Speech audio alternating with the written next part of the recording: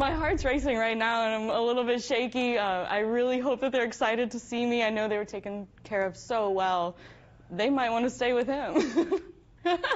No, not after six months. That's how long this reunion was in the making because that woman serves in the Air Force, and so she needed her pets looked after while she was deployed. And this program is free, and it makes really takes a lot of the stress off of fur parents. oh my goodness! Hi, puppies.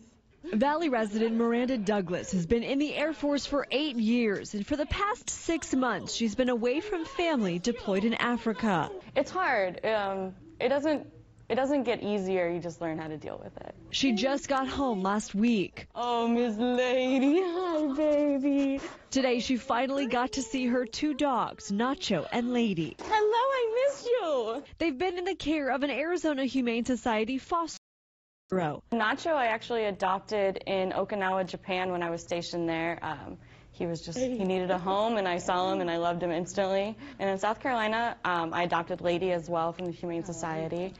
And then I moved out to Arizona, and they both came with me, and just part of my family. It's just a small way that we can give back to the servicemen and women who sacrifice so much for us on the daily.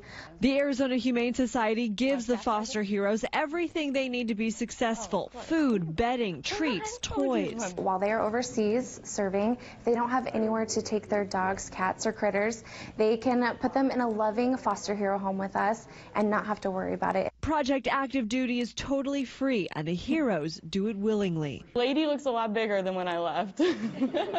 Nacho and Lady, just two fur babies being well taken care of while their parent serves our country overseas. I didn't realize how easy it was. It was really, really helpful during this time.